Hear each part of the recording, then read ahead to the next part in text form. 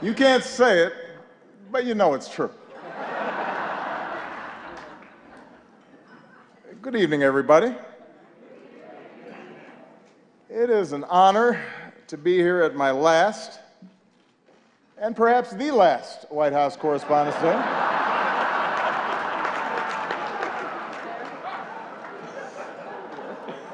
You all look great. The end of the Republic has never looked better.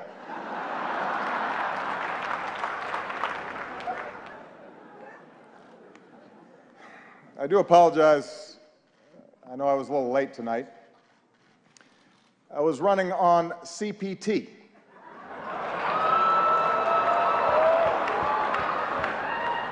Which stands for jokes that white people should not make.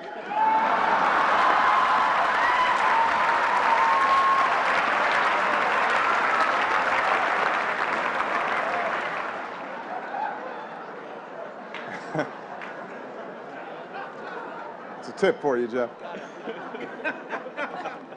Anyway, here we are. My eighth and final appearance at this unique event. And I am excited. If this material works well, I'm going to use it at Goldman Sachs next year.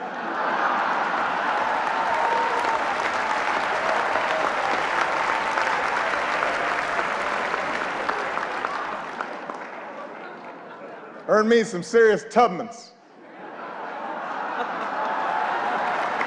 That's right. That's right.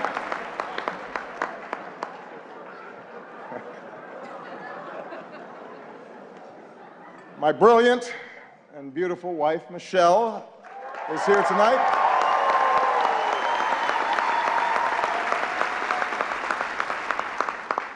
She looks so happy to be here. That's called practice. It's like learning to do three minute planks. She makes it look easy now, but next year at this time, someone else will be standing here in this very spot, and it's anyone's guess who she will be. But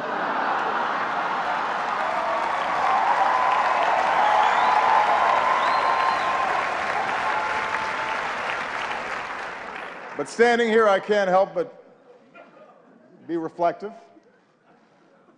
a little sentimental. You know, eight years ago, I said it was time to change the tone of our politics. In hindsight, I clearly should have been more specific.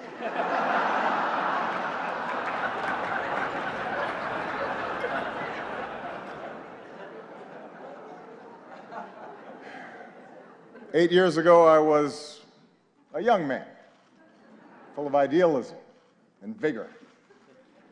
And look at me now. I am gray, grizzled, just counting down the days till my death panel.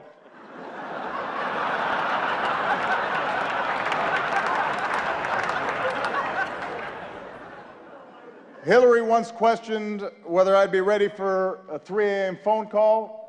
Now I'm awake anyway because I got to go to the bathroom. I'm up.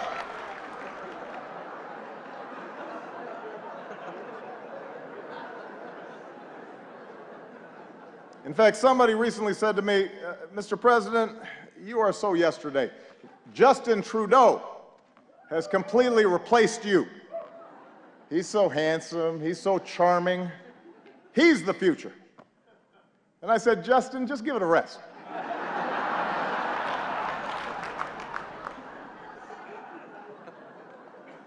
I resented that.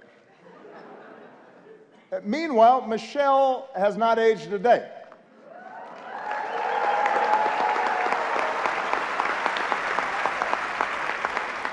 The only way you can date her in photos is by looking at me. Take a look. Here we are in 2008.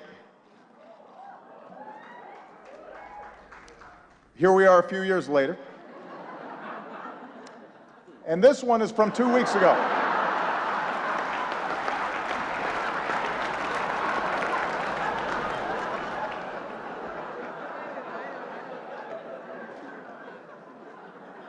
So time passes.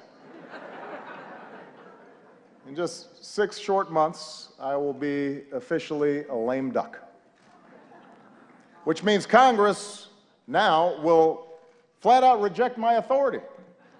And Republican leaders won't take my phone calls. And this is going to take some getting used to. Uh, it's really going to, it's a curveball. I don't know what to do with it.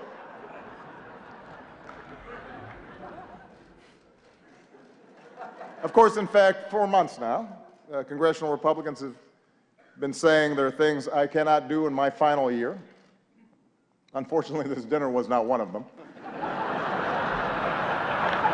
but on everything else, it's another story. And you know who you are, Republicans.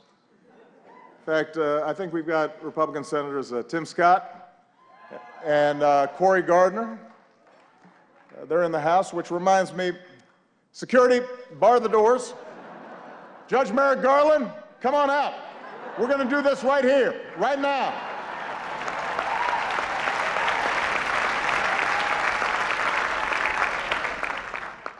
It's like the Red Wedding.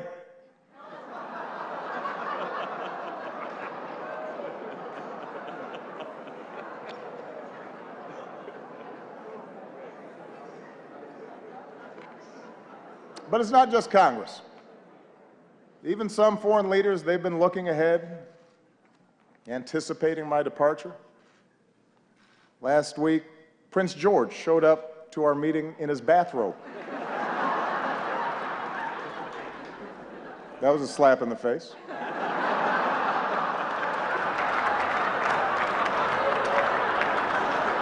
a clear breach of protocol.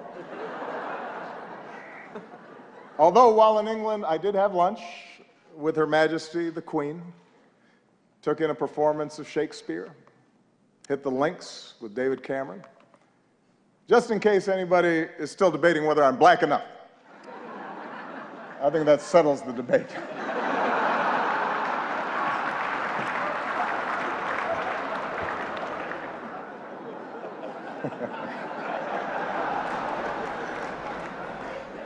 won't lie. Look, this is a tough transition. It's hard. Key staff are now starting to leave the White House. Even reporters have left me. Savannah Guthrie, she's left the White House press corps to host the Today Show. Norah O'Donnell left the briefing room to host CBS This Morning. Jake Tapper left journalism to join CNN.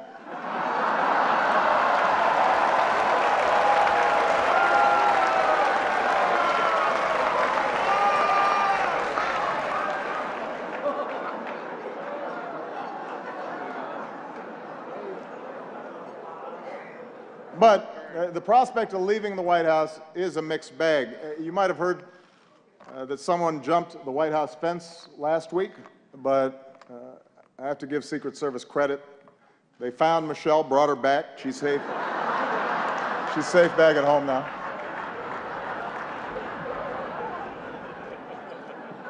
It's only nine more months, baby.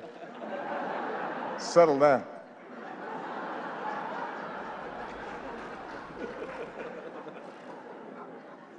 And yet, somehow, despite all this, despite the churn, in my final year, my approval ratings keep going up. Uh,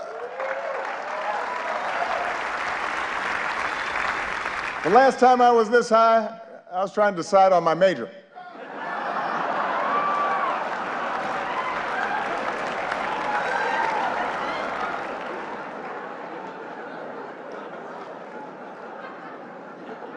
And here's the thing, I, I haven't really done anything differently.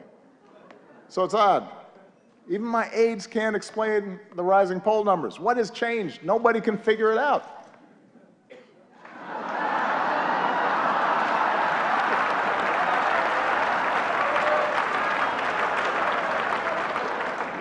Puzzling.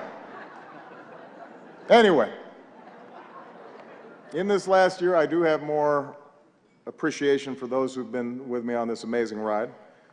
Like one of our finest public servants, Joe Biden. God bless him. Love that guy.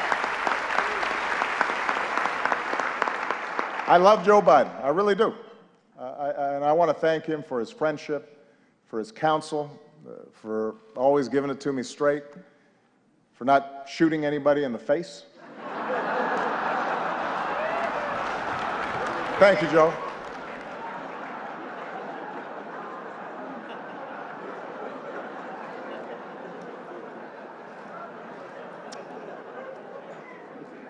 Also, I would be remiss, let's give it up for our host, Larry Wilmore.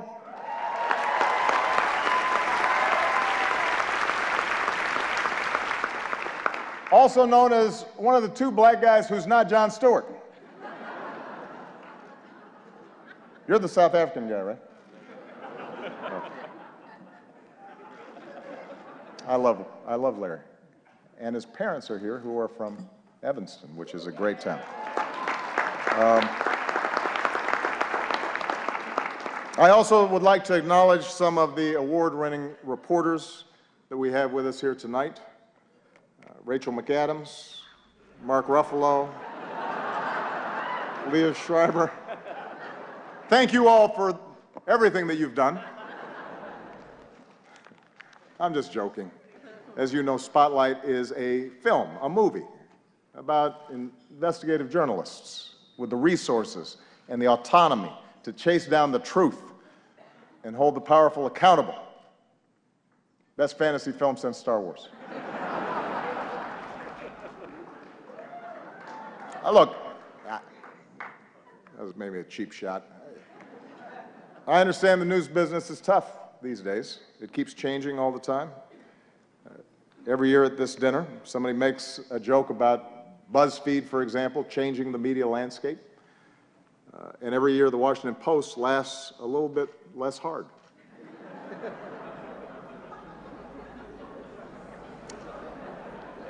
It's kind of a silence there, especially at the Washington Post table. GOP Chairman uh, Reince Priebus is here as well. Glad to see that you feel that you've earned a night off. Congratulations on all your success. The Republican Party, the nomination process, it's all going great.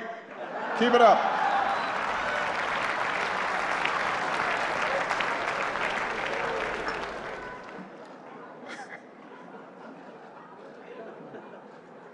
Kendall Jenner is also here.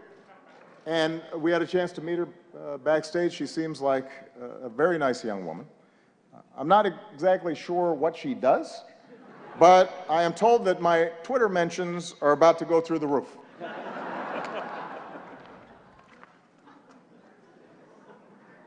Helen Mirren is here tonight.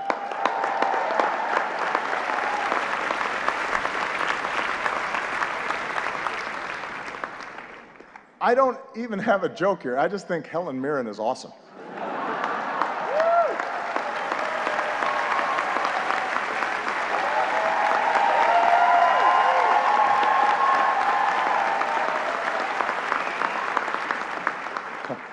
She's awesome.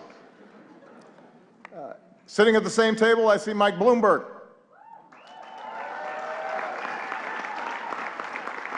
Mike, a combative, controversial New York billionaire, is leading the GOP primary, and it is not you. that has to sting a little bit.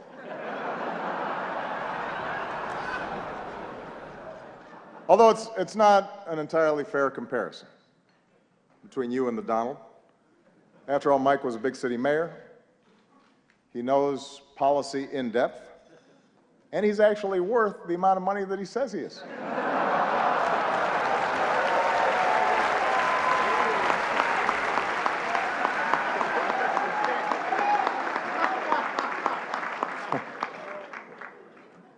What an election season.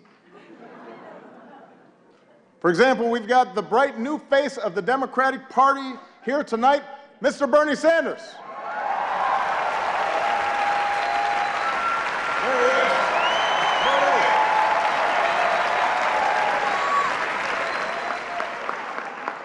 Bernie, you look like a million bucks. Or to put it in terms you'll understand, you look like 37,000 donations of $27 each.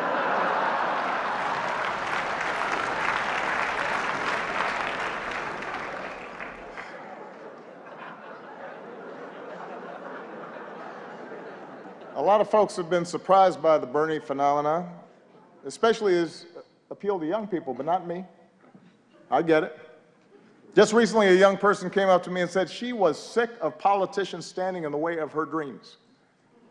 As if we were actually going to let Malia go to Burning Man this year. was not going to happen. Bernie might have let her go, not us.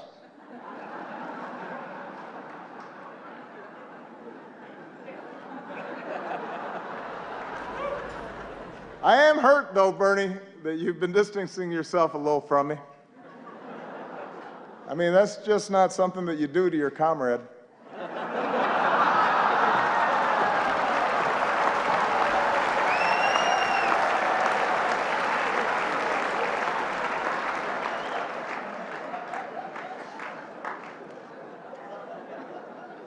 Bernie's slogan has helped his campaign catch fire among young people. Feel the burn. Feel the burn. It's a good slogan. Uh, Hillary's slogan has not had the same effect. Let's, let's see this.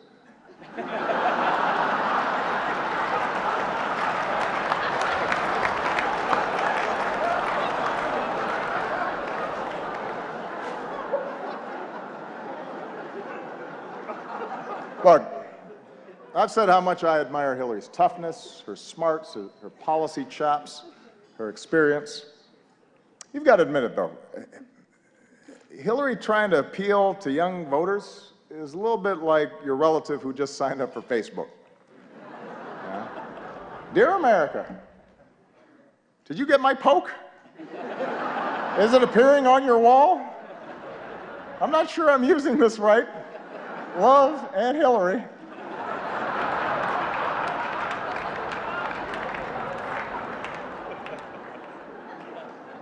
It's not entirely persuasive. Meanwhile, on the Republican side, things are a little more, how shall we say this? A little more loose. Just look at the confusion over the invitations to tonight's dinner.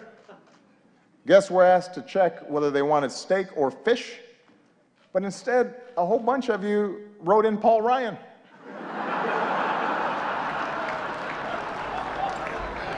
That's not an option, people. Steak or fish.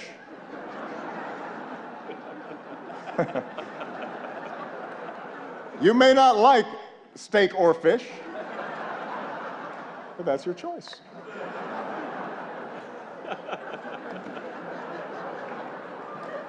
Meanwhile, some candidates aren't polling high enough to qualify for their own joke tonight.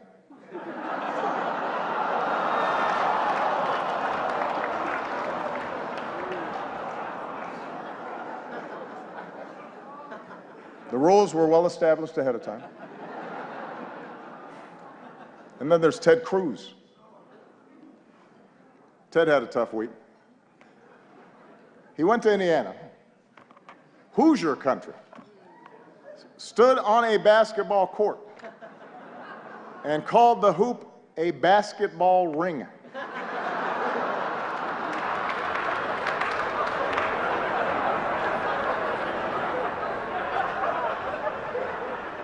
What else is in his lexicon? Baseball sticks, football hats, But sure, I'm the foreign one.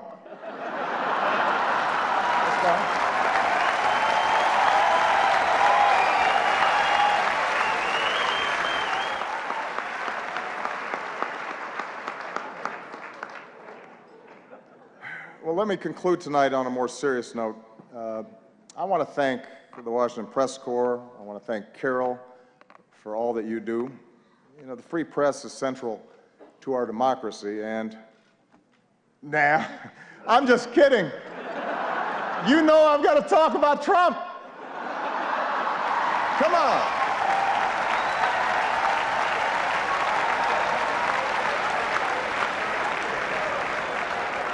Weren't just going to stop there. Come on.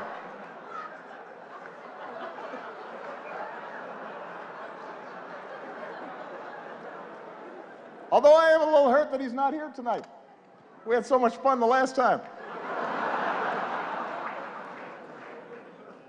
and it is surprising. You've got a room full of reporters, celebrities, cameras, and he says no. Is this dinner too tacky for the Donald? What could he possibly be doing instead? Is he at home eating a Trump steak? Tweeting out insults to Angela Merkel? What's he doing?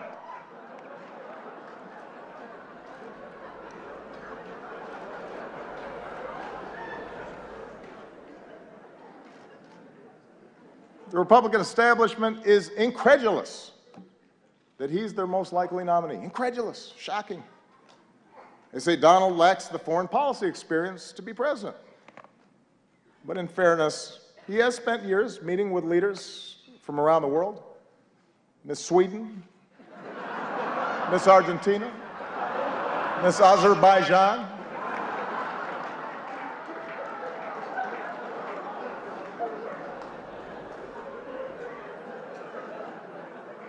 And there's one area where Donald's experience could be invaluable, and that's closing Guantanamo. Because Trump knows a thing or two about running waterfront properties into the ground.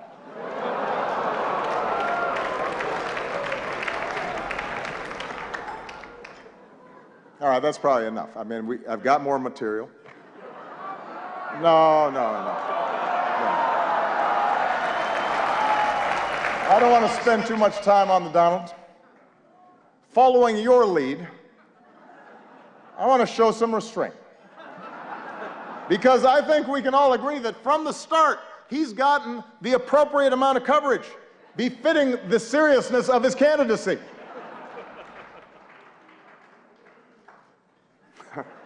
I hope y'all are proud of yourselves. The guy wanted to give his hotel business a boost, and now we're praying that Cleveland makes it through July.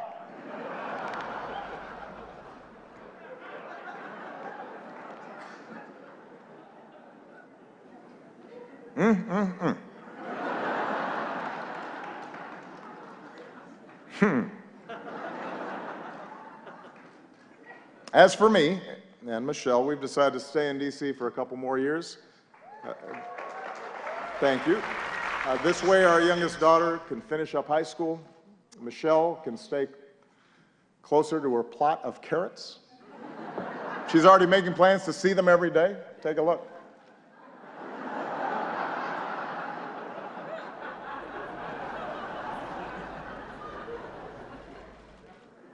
But our decision has actually presented a bit of a dilemma because traditionally presidents don't stick around after they're done. And it's something that I've been brooding about a little bit. Uh, take a look. The Obamas are staying in D.C. for two years after the president leaves office. He's about to go from commander in chief to couch commander. You, Chuck Todd. What am I going to do in D.C. for two years? Got a real dilemma, Mr. President. I can't go every day, can I? Which you like better, these or these? Joe, they're the same. They capture different moods. Joe, I need some focus here. Comes in there during aviator time, thinks everything. I'm sorry, what's that? I, I said, Mr. President, you had to be practical. And look, you can drive again. You're going to need a license. Uh, you love sports. Why don't you volunteer to work for one of the teams around here? Is this the Washington Wizards? I understand you're looking for some coaching help. Let's just say I coached my daughter's team a few times. Hello? Hello?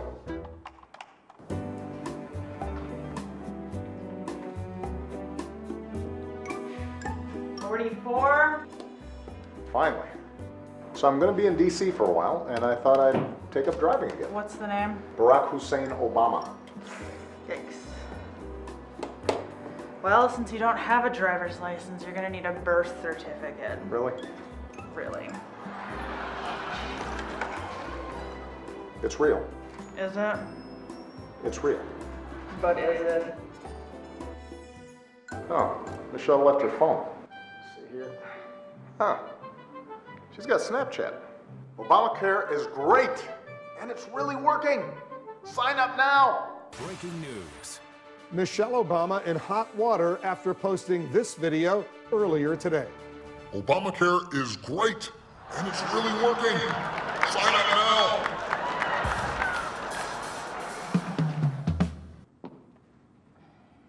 No? No. Did it get a lot of views at least? Honey, enough, enough. Why don't you just talk to somebody who's been through this? I gotta go to Soul Cycle. She's right. I know who I need to talk to. Hey, it's Barack. Listen, can we get together? Now that is a great move. Yeah, it's just me. It's just me.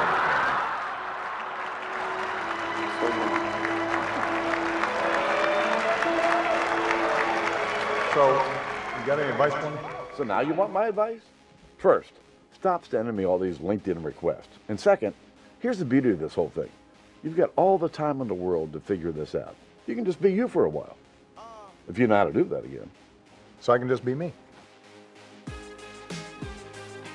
And I can wear my mom jeans in peace. I hate these tight jeans. Good. Good.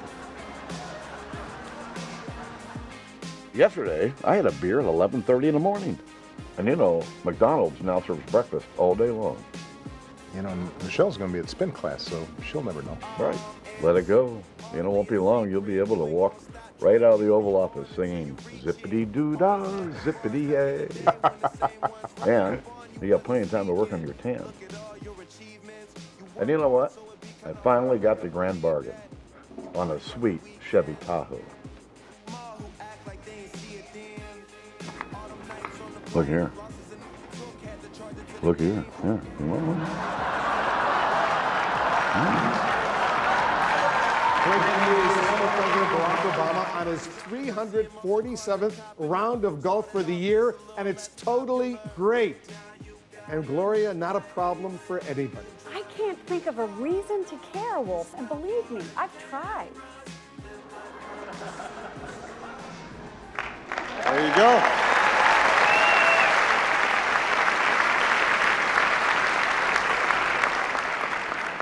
I am still waiting for all of you to respond to my invitation to connect to LinkedIn. But I know you have jobs to do, which is what really brings us here tonight. Uh, I know that there are times that we've had differences, and that's inherent in our institutional roles. It's true of every president and his press corps.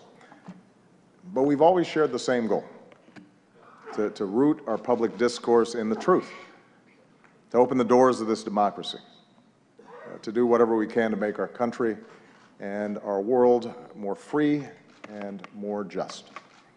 And I've always appreciated the role that you have all played as equal partners in reaching these goals. Our free press is why we once again recognize the real journalists who uncover the horrifying scandal and brought some measure of justice for thousands of victims throughout the world. They are here with us tonight. Uh, Sasha Pfeiffer, uh, Mike uh, Rezendes, Walter Robinson, Matt Carroll, and Ben Bradlee Jr. Please give them a big round of applause.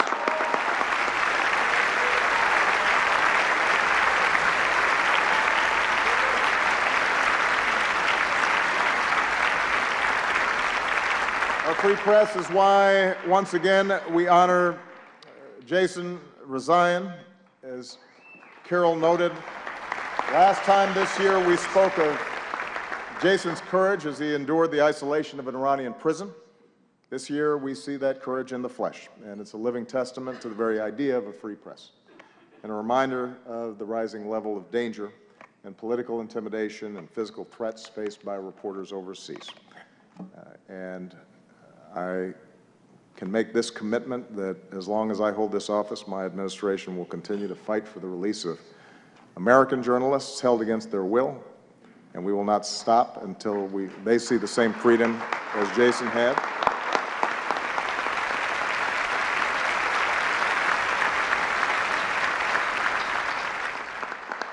At home and abroad, journalists, like all of you, engage in the dogged pursuit of informing citizens and holding leaders accountable and making our government of the people possible. And it's an enormous responsibility. And I realize it's an enormous challenge at a time when the economics of the business sometimes incentivize speed over depth, and when controversy and conflict are what most immediately attract readers and viewers. Uh, the good news is there's so many of you that are pushing against those trends. And as a citizen of this great democracy, I am grateful for that. For this is also a time around the world when some of the fundamental ideals of liberal democracies are under attack, and when notions of objectivity and of a free press and of facts and of evidence uh, are trying to be undermined, or in some cases ignored entirely. And in such a climate, uh, it's not enough just to give people a, a megaphone. And that's why your power and your responsibility to dig and to question and to counter distortions and untruths is more important than ever. Taking a stand on behalf of what is true does not require you shedding your objectivity. In fact, it is the essence of good journalism. It affirms the idea that the only way we can build consensus, the only way that we can move forward as a country, the only way we can help the world mend itself is by agreeing on a baseline of facts when it comes to the challenges that confront us all. So this night is a testament to all of you who've devoted your lives to that idea, who push to shine a light on the truth every single day. So I want to close my final White House Correspondents' Dinner by just saying thank you. Um, I'm very proud of what you've done. It has been an honor and a privilege to work side by side with you to strengthen our democracy. And with that, I just have two more words to say. Obama out.